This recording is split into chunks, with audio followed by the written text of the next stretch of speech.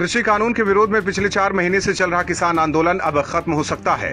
किसानों को समझ आ गया है कि केंद्र सरकार झुकने वाली नहीं है, ऐसे में उन्हें ही आंदोलन खत्म करना होगा। किसानों के विरोध के बावजूद सरकार ने किसानों से बातचीत बंद कर दी है।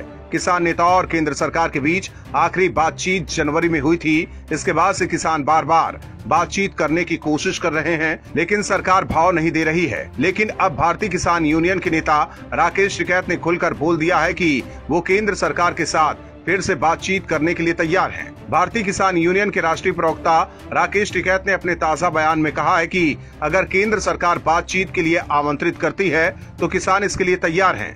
लेकिन वार्ता वहीं से शुरू होगी, जहाँ खत्म हुई थी। टिकैत ने यह भी कहा है कि मांगे भी वही है कि तीन कृषि कानूनों को निरस्त किया जाए और एमएसपी के लिए कानून बनाया जाए। कुल मिलाकर शर्तों में भी कोई बदलाव नहीं है। माना जा रहा है की राकेश टिकैत को अब डर सताने लगा है की कहीं शाहीन बाग जैसा उनके भी आंदोलन का हाल न हो। दिल्ली में इन दिनों कोरोना के मामले तेज़ी से बढ़ रहे हैं। ऐसे में हो सकता है कि सरकार जल्द ही आंदोलन को खत्म करा दे। इसीलिए टिकैत समय रहते केंद्र सरकार से बातचीत को तैयार हो गए हैं। हालाँकि किसान संगठन बातचीत को तैयार हो गए हैं, लेकिन अब केंद्र सरकार किसानों के साथ बातचीत करती है या नहीं, देखने वाली बात होगी, क्योंकि दोनों के बीच आखिरी बातचीत 25 जनवरी को हुई थी और उसमें सरकार ने अपनी मंशा ज़ाहिर कर दी थी कि वो कृषि कानून वापस नहीं लेगी ब्यूरो रिपोर्ट ओएमएच न्यूज़ और भी वीडियोस देखने के लिए चैनल को सब्सक्राइब करें और बेल आइकन को दबाएँ।